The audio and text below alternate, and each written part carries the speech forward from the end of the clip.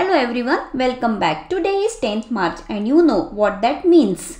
It's time to revise chapter 1 that is Python revision tour. I am excited to give you some tips and tricks to help you master the fundamentals. If you are new here, don't forget to hit that subscribe button. Alright, let's get started. Chapter 1 covers the basics of Python. Focus on the core concepts and make sure you understand tokens, conditional statements and looping statements. Let's check out some of the fundamentals of Python because based on this concept you will be getting question in the form of true or false. The first concept is Python is a cross-platform language. Yes, it can be run on Windows, Mac or Linux operating system. The second concept is variable declaration is implicit in Python. Yes, we need not mention the data type of the variable to declare it like other programming languages. Python decides the data type of the variable based on the value assigned to it. That's why the variable declaration is implicit. Let's move ahead to the third concept. Python supports an explicit conversion of an operand to a specific type. Yes, there is an arrangement to change the data type of the operand to a specific type. Here we are converting string to integer. Let's check out the last concept. Python does not allow same variable to hold different data literals or data types. Let me explain this concept with one example. We are going to initialize one variable i with 10. Now let's take the same variable and initialize some real value to it that is floating point number. In the third line I am going to initialize the same variable with one string. You can see here we are not getting any error. We are using same variable to store different data types literal. It is allowed because we don't define the data type of the variable explicitly. Python decides the data type of the variable based on the value assigned to it. That's why this statement is false. You will be using these concepts to solve the questions in which you need to state true or false. The most important topic of this chapter is token. Here are the 5 tokens that we have studied in class 11 as well as in class 12. Out of these you will be focusing on the keyword, identifier and operators. So let's check out the first token that is keyword.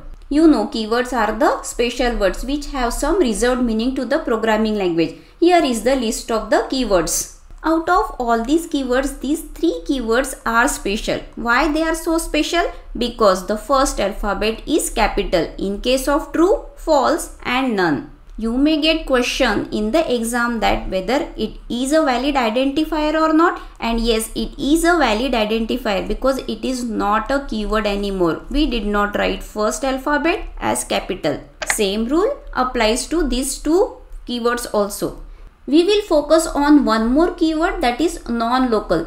In the question where you need to find out the correct keyword, it will be written as non-local to test your knowledge. So the non-local keyword we are writing without any space or any underscore. I think there is no doubt related to other keywords. Just have a look at the list of the keywords then you can solve the question related to keywords. The second important token is identifier. Surely you will get one question based on it where you need to find out the valid or invalid identifier. For that you should be clear with the rules for designing an identifier. What's the first rule? The variable name should not be a keyword. Just now we saw the list of the keywords so keep in mind all the keywords. The second rule is variable name must be designed with letters, numbers or underscore.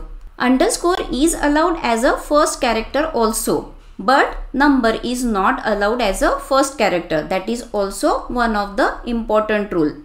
You cannot design any variable like this in which the variable is getting started with a number. Here is one more important rule that special symbols are not allowed. Except underscore, you cannot use any other special symbols like star, question mark and dash. So fix this rule in mind and get this one mark. The third and the most important token is operators. Operators will be used throughout the programming portion. So let's look at the categories of the operator. They are categorized into two types unary and binary. Unary operator operates on only one operand here are the some of the examples of unary operator. Plus and minus are both unary as well as binary operator but not is only a unary operator. If we write not of true it will be false. It will negate the value. So it operates only on one operand. Similarly plus and minus we can write as this plus 10 or minus 5 whereas the second category is binary operators. It operates on two operands. Operands means it can be a constant or variable. Out of this we need to focus on relational operators, arithmetic operators, logical operators as well as membership operators more. In this chapter we will be getting question for 1 mark in which we need to find out the valid arithmetic relational or logical operators. To make sure, write the list of the operators here. Arithmetic operators are plus, minus, multiplication, division, modulus and exponentiation operator. There is one more arithmetic operator that is floor division. You are well familiar with the relational operators. There are six relational operators. Less than, less than equals to, greater than, greater than equals to, equals to and not equals to. Now let's talk about the logical operators. There are three logical operators and, or and the third one is not. Apart from these three operators, we will be concentrating on membership operators also because we will be using it in the looping statements. There are two membership operators in and not in. Out of that in operator is important. I think concentrating on these 4 operators will be sufficient for this chapter. I think no need to discuss more about assignment operator. This assignment operator will be using more. Sometimes we can use this arithmetic assignment operator also. Let me clear you in short what is the use of this arithmetic assignment operator. Let's consider one example. We need to increment the previous value of x by 1.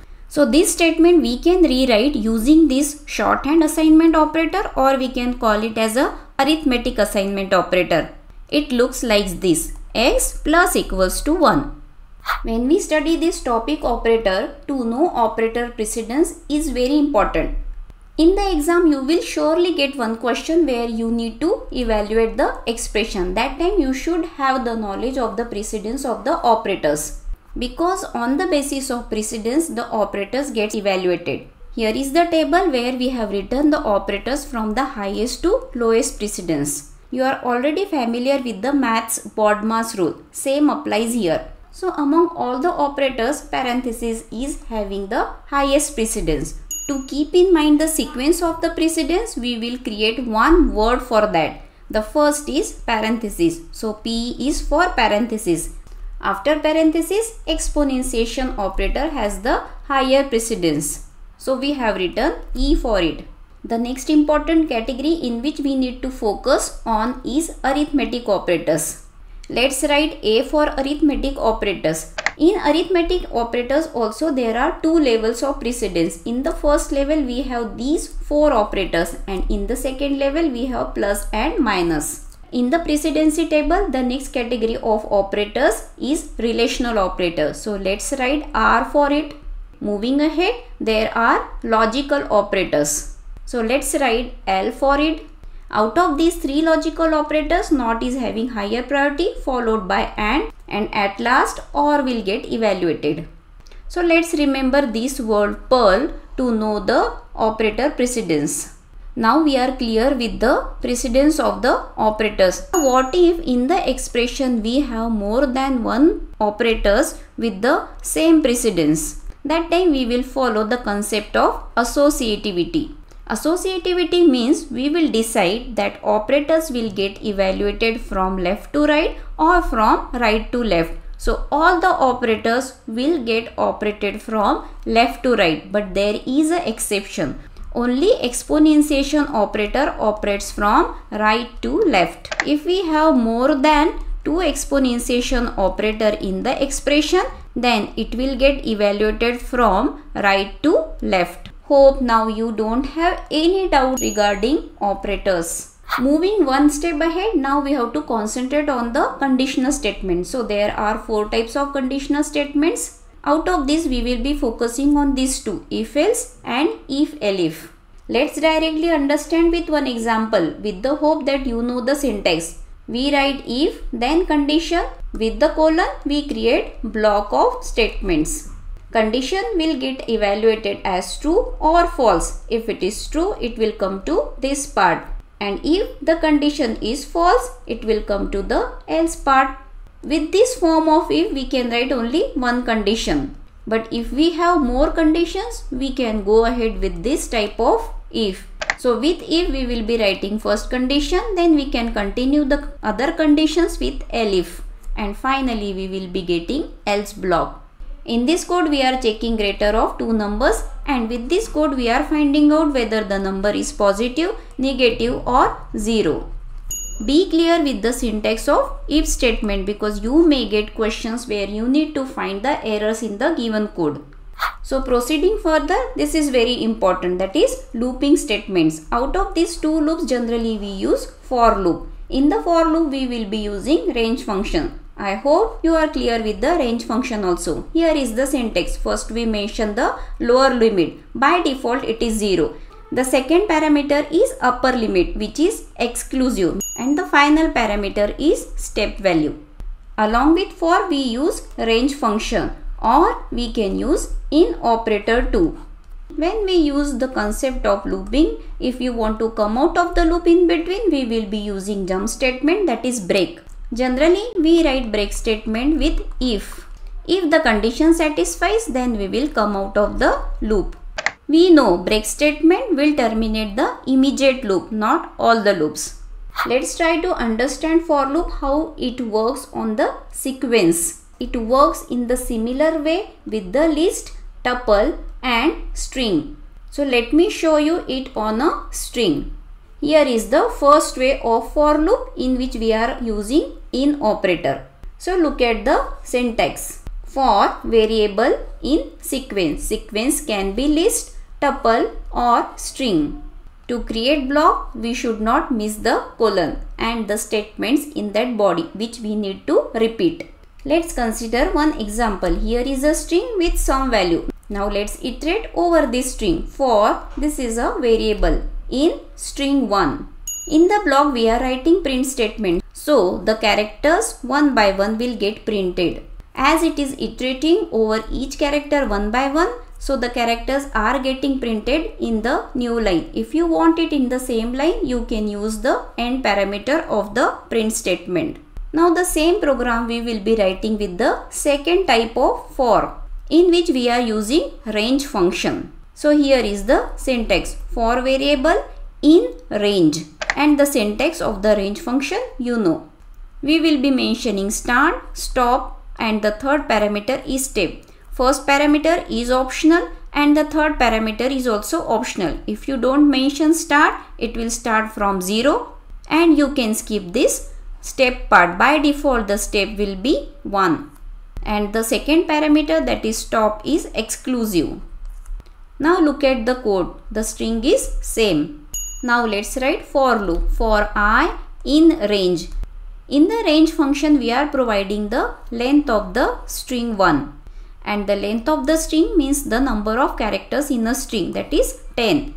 So the loop will get executed in range of 10 we skip the start parameter. By default, it will start with 0. Here is the second parameter. Outer limit doesn't include. So, it will be 9. The loop will get started from 0 and it will continue up to 9. In this example, we iterate directly over characters of the string. But in this example, we are iterating over numbers. These are nothing but the indices of the string. So ultimately it is starting with the index 0 and going up to index 9. Now look at the print statement. If we directly print i, we will be getting the numbers. But we don't want these numbers. We need the characters of the string. For that we will be writing the string name and the index in the square bracket.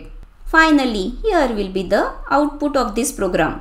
Hope you understood what we were trying to do here. Using for loop, we can iterate using index or using elements.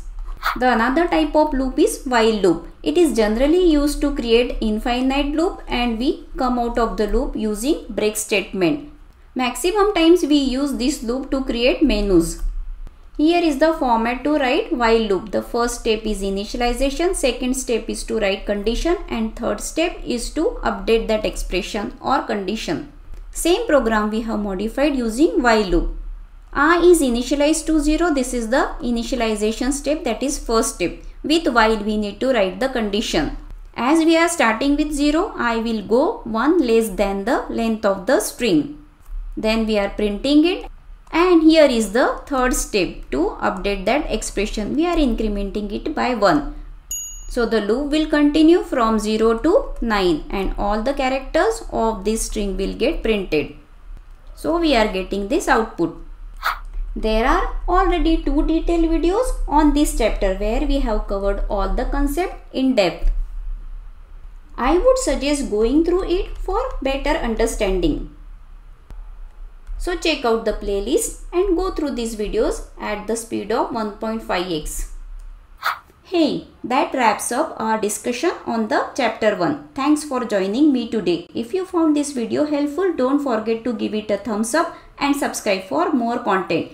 Best of luck with your computer science studies. Stay tuned for the next video where we will be tackling the crucial questions from chapter 1. Until then, stay confident. I will see you in the next video.